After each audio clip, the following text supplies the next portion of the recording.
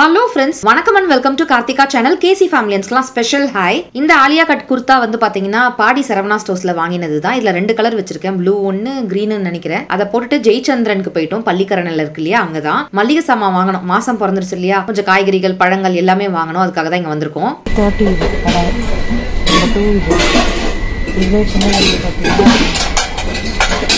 Two eighty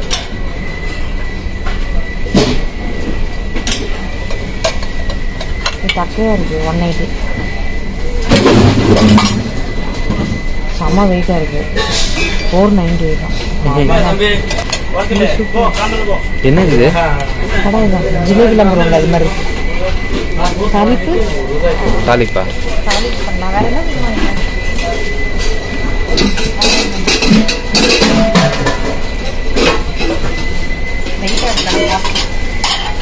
அது என்னவோ தெரியல. இந்த கடைக்கு போனா கொஞ்சம் பாத்திரம் செக்ஷனும் அப்படியே பாத்துடுறோம். ஏன்னா பாத்திர செக்ஷன் ஆண்டு தான் அந்த காய்கறி மளிகை சாமான்லாம் வச்சிருக்காங்க. இப்படி நேரா போய் அந்த பாத்திரத்தை ஒரு எட்டு பார்த்துட்டு அப்படி போவோமே அப்படின்னு தோணும். உங்களுக்கும் தோணுமா அப்படின்னு சொல்லுங்க. போன மாசம் என்ன பண்ணோம்னா வீக்கெண்ட்ல போயிட்டோம். அதுவும் மாசம் முதல்லயே நாங்க போயிட்டோம். அது வந்து என்ன ஆயிடுச்சு? பயங்கர கூட்டம் ஆயிடுச்சு ஸோ இந்த வாட்டி ஃபர்ஸ்ட் வீக்கெண்ட் வந்து போகவே கூடாது. வீக்கெண்ட்ல இனிமே போகவே கூடாது அப்படின்னு நாங்க நினைச்சோம். ஸோ வீக் டேஸ்ல போயிடலாம் அப்படின்னு நினைச்சிட்டு போயிருந்தோம். மல்லிகை சாமான்லாம் வாங்கிட்டு காய்கறி வாங்குற மாதிரி தான் பிளான் இருந்தது. ஆனா காய்கறி கிட்ட வந்து பாத்தீங்கன்னா கூட்டம் கம்மியா இருந்தது. ஈவினிங் ஆக ஆக என்ன ஆகும்னா கூட்டம் வந்து ஜாஸ்தி ஆக ஆரம்பிச்சிரும். ஃப்ரெஷ்ஷாக இருக்கிற காயெல்லாம் காலி ஆகிட்டு அப்புறம் மிச்சம் மீதி இருக்கிறதா நம்ம எடுத்துகிட்டு போகிற மாதிரி ஆயிரும். இவ்வளோ தூரம் நாங்கள் வந்து காய்கறி வாங்குறதுக்கு காரணமே கொஞ்சம் ஃப்ரிட்ஜில் ஸ்டோர் பண்ணி வச்சுக்கலாம். வீட்டுக்கிட்டலாம் வந்து வெயில் காலத்தில் நாங்கள் காய்கறி வாங்கினாலே ரொம்ப நல்லா இருக்காது. ஒரு ரெண்டு மூணு நாள்லேயே மற்ற காய்கள்லாம் வீணாக ஆரம்பிச்சிரும். இங்கே வாங்கினாக்கா ஒரு வாரத்துக்கு தேவையான காய் கரெக்டாக நாங்கள் வாங்கி ஸ்டோர் பண்ணிக்க முடியும். வீட்டு பக்கத்தில் எங்களுக்கு வசதி இல்லை ஃப்ரெஷ்ஷாக அப்பப்போ வாங்கி செய்கிறதுக்கு நம்ம ஏரியாவில் அதனால நாங்கள் இங்கே வந்து மொத்தமாக ஒரு வாரத்துக்கு தேவையானதை வாங்கிடுவோம். ஸோ கூட்டம் வரத்துக்கு முன்னாடி இந்த காய்கறி பழங்கள்லாம் வாங்கிட்டு அப்புறம் மல்லிகை செக்ஷனுக்கு போயிட்டு மல்லிகை சாமான் வாங்கிக்கலாம் அப்படின்னு நினச்சோம். என்னென்னலாம் வீட்டில் இருக்குது அப்படின்றதெல்லாம் ஏற்கனவே போன vlogல நான் காமிச்சிருந்தேன் லிஸ்ட் எடுத்திருந்தேன் அப்படின்ட்டு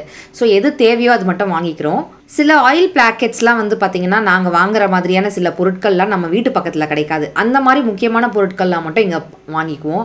சில பல்சஸ் சில விஷயங்கள்லாம் வீட்டுக்கிட்ட கொஞ்சம் காஸ்ட்லியாக இருக்கும். இங்கே வந்து கொஞ்சம் காசு கம்மியாக இருக்கும். ஸோ அந்த மாதிரி பட்ஜெட் பிளான் பண்ணி இங்கே வந்து நாங்கள் வாங்கிக்கிறோம். இங்கேயும் ஒரே விலை தான் வீட்டு பக்கத்துலேயே ஒரே விலை தான் ஒரே மாதிரியே பிராண்ட்ஸ் கிடைக்குது. அதுக்கு நம்ம வீட்டு பக்கத்துலேயே வாங்கிக்கலாம் அப்படின்றத வீட்டு பக்கத்தில் தான் வாங்கிக்குவோம். அதை வேறு இங்கேருந்து தூக்கிக்கிட்டு போய் மேலே ஏற்றிக்கிட்டு அது எதுக்கு?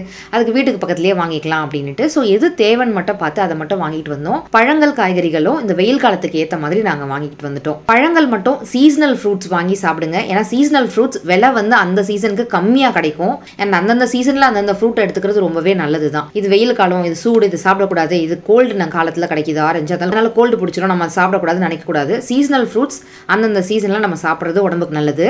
இந்த பழம் புதுசாக வேற வாங்கிட்டு வந்திருந்தோம். ஸோ பழைய பழத்தை உடனே சாப்பிட்றலாம் அப்படின்ட்டு கட் பண்ணி நாங்கள் அப்போவே காலி பண்ணிட்டோம். நான் ஃப்ரெஷ்ஷப்பாக வாங்கிட்டு வந்துட்டேன். A few moments later. Ji சொல்லுடா. வெயில் காலம் ஆரம்பிச்சிருச்சு சும்மா கரண்ட் டப்பு டப்புன்னு போயிட்டு வரும். ஆமா நம்ம இதுல மோசம். அதுமா மோசம் இவ்வளவு பெரிய அபார்ட்மெண்ட் பேரு பவர் பேக்கப்லாம் எதுவும் கிடையாது. நம்ம வீட்ல வந்து பவர் பேங்க் இருக்கு. அதாவது அது பேர் என்ன சொல்லுவாங்க? இன்வெர்டர் இருக்கு. இல்லாதவங்க வீட்ல என்ன பண்ணுவாங்க? அவங்களுக்கு எல்லாம் ஒரு சூப்பரான விஷயம் தான் இன்னைக்கு வந்து நாங்க காமிக்க போறோம். அதுக்கு தான் ஒரு அன்பாக்சிங் பண்ணிட்டு இருக்காரு. அது என்னன்னு நாங்க காட்டுறோம். அதை நீங்க பார்க்கலாம். ஸோ டிராவல் பண்றவங்களுக்குலாம் இது ரொம்ப யூஸ்ஃபுல்லா இருக்கும். முக்கியமா இந்த வெயில்ல வந்து பாத்தீங்கன்னா பவர் போயிட்டு போயிட்டு வருதுன்னா உங்களுடைய எல்லா பொருளையும் சார்ஜ் போடுறதுக்கு ஒரு சூப்பரான பவர் பேங்க் அதுவும் குவிக் சார்ஜிங் காட்டுங்க இதை காட்டுங்க. நான் க்ளோஸ் அப்ல போய் ஜூம் இல்ல காட்டுறேன். Duracell power bank twenty thousand M A H twenty thousand M A H இருக்கு. டூ இயர் என்னன்னா வாரண்டியோட வருது ரெண்டு வருஷம். வாரண்டி வருது. மெயின் விஷயம் என்னன்னா மூணு விஷயத்த வந்து நம்ம அட் டைம் வந்து சார்ஜ் போட்டுக்கலாம். சரி அதை காட்டுங்க காட்டுங்க ஓபன் பண்ணுங்க அன்பாக்ஸ் பண்ணுங்க. டுவெண்ட்டி தௌசண்ட் எம்ஏஹெச்சோட மூணு டிவைசஸ் சைமல்டேனியஸாக சார்ஜ் பண்ணுற மாதிரியான டியூரசெல் பவர் பேங்க் தான் இது. ரொம்ப ஸ்லீக் டிசைனில் பார்க்கறதுக்கே சூப்பராக இருக்கும் லைட் வெயிட்டாக இருக்கும். இது டிவைசஸ்லாம் ஆட்டோவாக டிடெக்ட் பண்ணிடும். இந்த பவர் பேங்கோட யூஎஸ்பி கேபிளும் வந்துருது. அண்ட் நீங்களே பார்த்துருப்பீங்க டக்கு டக்குன்னு குவிக் சார்ஜ் ஆயிடுது இது. ஜி இதை அட்டையெல்லாம் ஓரமாத்தல் இல்ல நம்ம. இதை பார்க்கும்போது நம்ம டியூரசெல் பேட்டரி வருமே அந்த கலர்லயே இருக்குல்ல இந்த கலர் செம்மையா இருக்கு இந்த கலர் காம்பினேஷன் செம்மையா இருக்கு பாடி சூப்பராக இருக்குது மொபைல்லாம் எப்படி சார்ஜ் போடுறோம்? அந்த மாதிரி ஈஸியாக நம்ம சார்ஜ் போட்டுடலாம் mobile phone tablet iPad iPhone smart watches headsets hands free இந்த மாதிரி எல்லாத்தையுமே நான் வந்து சார்ஜ் பண்ணிக்கிறேன். ட்ராவல் பண்ணும்போது இதையும் நம்ம பேக்கில் போட்டோம்னா கேபிளும் கையிலேயே வச்சிருக்கணும். பேக்குள்ளேயே ஃபோனையும் வச்சு இதையும் வச்சு சார்ஜ் போட்டு அப்படியே போயிடலாம் நம்ம. ஸோ இந்த சம்மருக்கு ரொம்பவே யூஸ்ஃபுல்லாக இருக்கும்னு நினச்சேன். உங்களுக்கும் நான் காட்டணும்னு நினச்சேன்.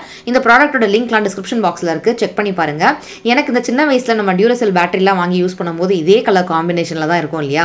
பேட்டரின்னு சொன்னாலே நமக்கு டியூரசெல் தான் ஞாபகம் வரும். ஸோ நமக்கு தெரிஞ்ச ஒரு பிராண்டு தான். அந்த பேட்டரி மாதிரியே அதே கலர் காம்பினேஷனில் இந்த பவர் பேங்க் இருந்தது ரொம்பவே நல்லா இருந்துச்சு எனக்கு ரொம்ப பிடிச்சிருந்துச்சு. ஸோ லிங்க்லாம் டிஸ்கிரிப்ஷன் பாக்ஸில் வச்சிருக்கேன். வேணுன்றவங்க கண்டிப்பாக செக் பண்ணி பாருங்க. கரெக்டான நேரத்தில் கரெக்டான நமக்கு தேவைப்படுற ஒரு ப்ராடக்டாக நம்ம வாங்கிட்டோம் இல்லையா? சூப்பர் ப்ராடக்டா ம் சரி ஓகே இந்த ப்ராடக்ட் யாருக்கா தேவைப்படுச்சுன்னா லிங்க் வந்து டிஸ்கிரிப்ஷன் பாக்ஸ்ல இருக்கும். செக் பண்ணி பாருங்க.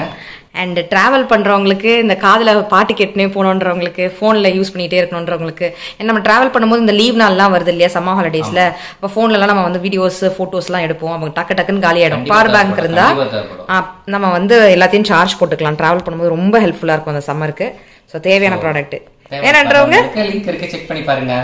எஸ் இது உங்களுக்கா எனக்கா ஜி? இது நமக்கு. ஆக மொத்தம் இந்த எலக்ட்ரானிக் ஐட்டம் எல்லாம் என் உங்ககிட்ட தான் இருக்கா? உனக்கு வேணும் போது நான் தருவேன். சரியா? உங்க பேக்ல இருக்கும் ஆனா நமக்கு. சரி எனக்கு தேவைப்படாது. நீங்களே நம்ம எங்கேயும் இந்த வாட்டி போக போறது இல்ல வீட்ல கரண்ட் ஆஃப் ஆகும்போது நான் யூஸ் ஆகும்.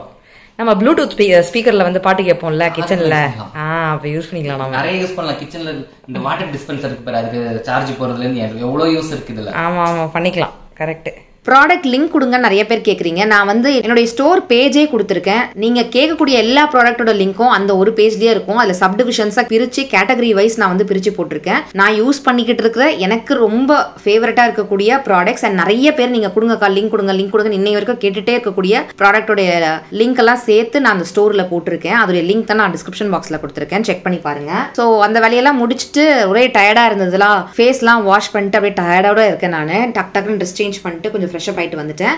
காய்கறி எல்லாம் க்ளீன் பண்ணி நம்ம வந்து அரேஞ்ச் பண்ணி வச்சிடலாம் அப்படின்ட்டு இந்த காய்கறி ஸ்டீல் ட்ராலி வந்து ஃபோர் ரேக் இருக்கிற மாதிரி இருக்கும்.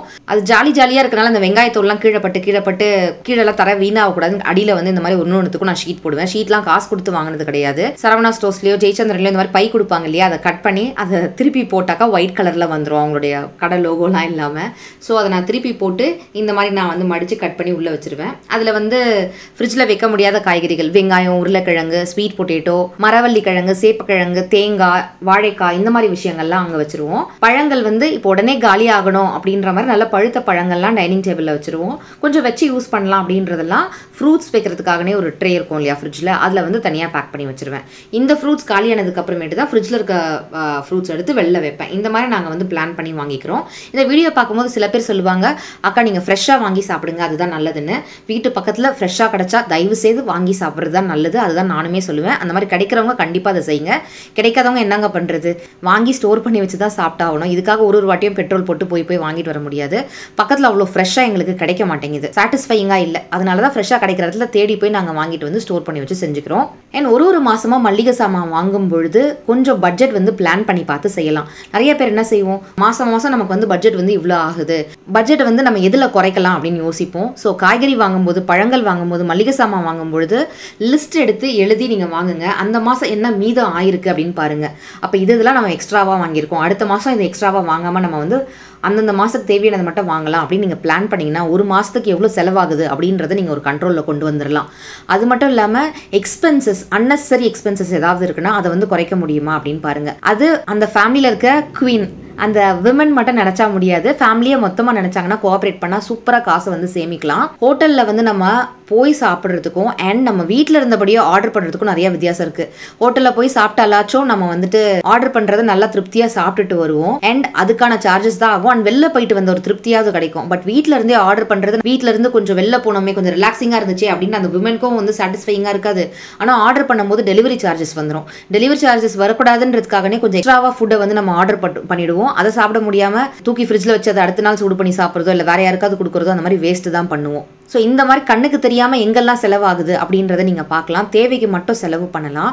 அண்ட் மாதம் ஒரு மூணு ஃபங்க்ஷனாவது நம்ம ஃபேமிலியில் வந்துடும் அப்படின்னு நினைக்கிறவங்க இந்த மாதம் ஃபங்க்ஷன் இல்லையே இது ஃபங்க்ஷன் வர மாதம் இல்லையே அப்படின்னு நீங்கள் நினைக்கிறீங்கன்னா அந்த மூணு ஃபங்க்ஷன் இந்த மாதம் இல்லைன்னா மூணு ஃபங்க்ஷனுக்கு நம்ம போகணும். ஸோ போகிற செலவு வர செலவு அண்ட் மொய் போட்டோம் இல்லை கிஃப்ட் வாங்கி கொடுத்தோம்னா என்ன செலவாகுமோ அதை நீங்கள் எழுதி வச்சு அதையும் தூக்கி சேவிங்ஸில் தனியாக எடுத்து ஒரு உண்டியல் போட்டு உள்ளே வச்சிருங்க. வீக்கெண்ட் வீக்கெண்ட் இவ்வளோ தான் பட்ஜெட்னு பிளான் பண்ணி நீங்கள் செய்கிறீங்க அப்படின்னாக்கா நம்ம இப்போ பத்தாயிரரூபா சம்பளத்தில் வாழ்ந்துட்டு இருக்கோம்னா அடுத்த மாசத்துலேருந்து நமக்கு பதினஞ்சாயிரம் சம்பளம் இன்க்ரீஸ் ஆகுதுன்னா அந்த பத்தாயிரத்துலேயே குடும்பம் நடத்திட்டு இந்த ஐயாயிரம் ரூபாய் எப்படி சேமிச்சு வைக்கலாம் அப்படின்னு தான் பார்க்கணும். மிஞ்சி போனால் அந்த ஐயாயிரம் ரூபாயிலேருந்து ஒரு ஆயிரம் ரூபாய் வேணால் நம்ம வந்து செலவு பண்ணுறதுக்கு யோசிக்கலாம். மீதி நாலாயிரம் ரூபாவை கண்டிப்பாக சேமிப்பில் எடுத்து வச்சிடணும். சம்பளம் அதிகம் ஆகும் பொழுது அன்னெசரி செலவுகளை இன்னும் ஜாஸ்தி பண்ணாமல் பார்த்துக்கிட்டிங்கன்னா பட்ஜெட்ஸ் வந்து பிளான் பண்ணலாம். முடிஞ்ச அளவுக்கு இன்வெஸ்ட்மெண்ட்ஸில் போடுங்க. அது உங்கள் பிஸ்னஸ்லேயோ இல்லை அஃபீஷியல்லையோ உங்கள் ப்ரொஃபஷன்லையோ லாபம் கொடுக்குதுன்னா அதில் நீங்கள் வந்து உங்களோட என்டர்டெயின்மெண்ட்க்கு கண்டிப்பாக பண்ணுங்கள் அந்த என்டர்டெயின்மெண்ட்டில் கூட தேவையானது தேவையில்லாததுன்னு பார்த்து நீங்கள் பண்ணிங்க பிளான் பண்ணி நீங்கள் வந்து செலவு பண்ணிங்கன்னா பட்ஜெட் பிளான் பண்ணலாம். அந்த மாதிரி சேமிக்கிற காசு ஒரு வருஷத்துக்கு நீங்கள் சேர்த்து வச்சீங்கன்னா பெரிய அமௌண்ட்டாக ஒரு வருஷம் கழிச்சு அது சேர்ந்துருக்கும். அதை நீங்கள் ஃபேமிலியோட ஒரு ட்ரிப்பு போகிறது கூட தாராளமாக யூஸ் பண்ணிக்கலாம். இல்லை முக்கியமான செலவுகளை இல்லைன்னா அவசரமான நேரங்களில் இந்த சேமிப்பு காசு வந்து உதவும். நமக்கு.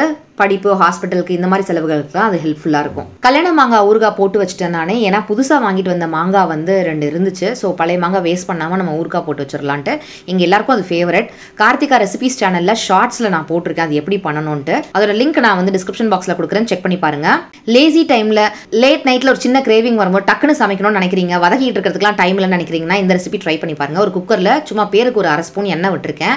அதில் ரெண்டு கை சின்ன வெங்காயம் போட்டிருக்கேன். ஒருவேளை நீங்கள் பெரிய வெங்காயமாக எடுத்தீங்கன்னா ரெண்டு பெரிய வெங்காயம் போட்டுக்கோங்க. அது கூடவே ஆறு தக்காளி. இது எல்லாமே பொடியை நறுக்கி ஆட் பண்ணிட்டு உங்க காரத்துக்கு தகுந்த மாதிரி குழம்பு மிளகாய் தூள் போட்டுக்கலாம். நான் மூணு ஸ்பூன் போட்டிருக்கேன். அண்ட் கலருக்காக காஷ்மீரி சிகப்பு மிளகாய் தூளும் போட்டிருக்கேன். ஸோ காரத்துக்கு தகுந்த மாதிரி நீங்க அட்ஜஸ்ட் பண்ணிக்கலாம். ஒரு அரை கப் தண்ணி ஊற்றி நல்லா ஒரு ஏழு எட்டு விசில் விட்டு நீங்க இந்த மாதிரி இறக்கிட்டீங்க அப்படின்னாக்கா சூப்பரா மசிஞ்சு வெந்து வந்திருக்கும். கல்லுப்பு சேர்த்து கல்லுப்போட சேர்த்து நீங்க நல்லா அப்படி மசிச்சு விட்டீங்கன்னு வச்சுக்கோங்களேன். அந்த வெங்காயம் தக்காளிலாம் இருக்கிற இடமே தெரியாம போயிடும் அடிக்கணமான ப- வாணல்ல தாராளமா நல்லெண்ணெய் விட்டு கடுகு உளுத்தம் பருப்பு போட்டுட்டு சீரகம் பெருங்காயம் கருவேப்பிலை ஏன்னா ஒரு ஏழு எட்டு பூண்டு பொடியை நறுக்கி போட்டு நல்லா அது செவக்க வர அளவுக்கு நீங்க தாளிச்சிட்டு அதுக்கப்புறம் நம்ம மசிச்சு வச்சிருக்கக்கூடிய தக்காளி தொக்கையும் இதுலேயே ஆட் பண்ணி ஒரு மூணுலேருந்து நாலு நிமிஷம் மூடி போட்டு கொதிக்க வச்சு ஆஃப் பண்ணிட்டீங்கன்னா சூப்பராக தயாராகிடும் லாஸ்ட்ல கருவேப்பிலை கொத்தமல்லி தூவி இறக்கிட்டு இட்லி தோசை சாதம் சப்பாத்தி இடியாப்பம் மாப்பம் எல்லாத்துக்கும் அட்டகாசமாக இருக்கும் இந்த தக்காளி தொக்கு. ஊருக்கெல்லாம் போகும்போது பேக் பண்ணிட்டு போகிறதா இருந்தால் இப்படி தக்காளி தொக்கு செய்யக்கூடாது. இதே மாதிரியே செய்யலாம். ஆனால் நல்லா அந்த எண்ணெய்லாம் பிரிஞ்சு தொக்கு மாதிரி வரும்ல ஊருக்கா மாதிரி. அந்த அளவுக்கு கொதிக்க வச்சு தான் இறக்கணும். இந்த ஈரத்தோட இந்த கன்சிஸ்டன்சியில் நீங்கள் ஊருக்கெல்லாம் கொண்டு போனீங்கன்னா கெட்டு போயிடும் வீட்டில் செய்கிறதுக்கு காலைல செஞ்சு மதியானம் சாப்பிட்றதுக்கு அதுக்கெல்லாம் பர்ஃபெக்டாக இருக்கும். இந்த மாதிரி ட்ரை பண்ணிங்கன்னா ஸோ ஈஸியாக செஞ்சிடலாம். அதுவும் சுட சுட மல்லிகைப்பூ மாதிரி இட்லி. அப்போ தான் இட்லி குண்டாலேருந்து இறக்கிருக்கணும் இறக்கி இருக்கணும். அந்த மெத்து மெத்துன்னு அந்த சூடோட அப்படி சாப்பிடணும். அந்த மாதிரி நம்ம இட்லி எடுத்து வச்சு இந்த காரசாரமான தக்காளி தொக்கை வச்சு சாப்பிடும்போது அப்பா வேற லெவல் லெவலில் இருக்கும். இட்லி குண்டாவை பத்திலாம் கூட நிறைய பேர் கேட்குறீங்க இந்த வீடியோவில் நான் காமிச்சிருக்கேன் யூஸ் பண்ணியிருக்கிற எல்லா ப்ராடக்ட்டோட லிங்க்கும் முடிஞ்ச அளவுக்கு நான் டிஸ்கிரிப்ஷன் பாக்ஸ்ல கொடுக்குறேன். வேணுன்றவங்க செக் பண்ணி பாருங்க. ஸ்கூல்ல இட்லி தக்காளி தொக்கு தக்காளி சாதம் உருளைக்கிழங்கு தக்காளி சாதம் அப்பளம் கொண்டு போனதெல்லாம் பா இன்னும் ஞாபகம் இருக்கு. உங்களுக்கு எப்படின்னு சொல்லுங்க. இவ்வளோ நேரம் இந்த வீடியோவை பார்த்து ரஷ்டமாய்க்கு நன்றிகள். Thank you so much for வாட்சிங் friends take care tata bye